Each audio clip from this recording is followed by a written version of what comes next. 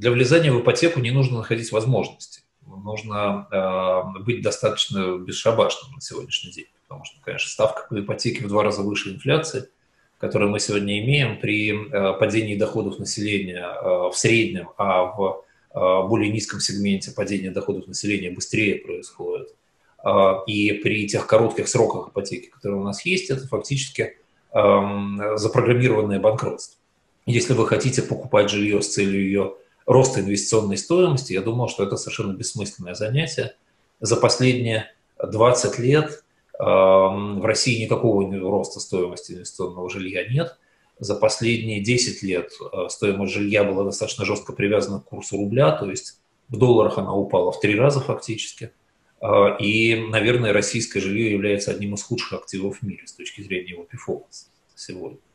Вот. А тем более, что э, недвижимость вообще во всем мире достаточно неликвидна. А страны, если уже отличиться от России, придумывают достаточно высокие налоги на сделки с недвижимостью. Э, и это делает недвижимость жилую как способ инвестирования денег простых граждан абсолютно неинтересным активом. Конечно, если вы девелопер, если вы профессиональный инвестор в недвижимость, если вы используете недвижимость специального вида – там, покупаете какие-нибудь, не знаю, общежития студенческие где-нибудь в Англии, и хорошо умеете это делать, и правильно умеете их дальше сдавать, вы можете зарабатывать, но это профессиональный бизнес, это не бизнес частных лиц и не бизнес любителей.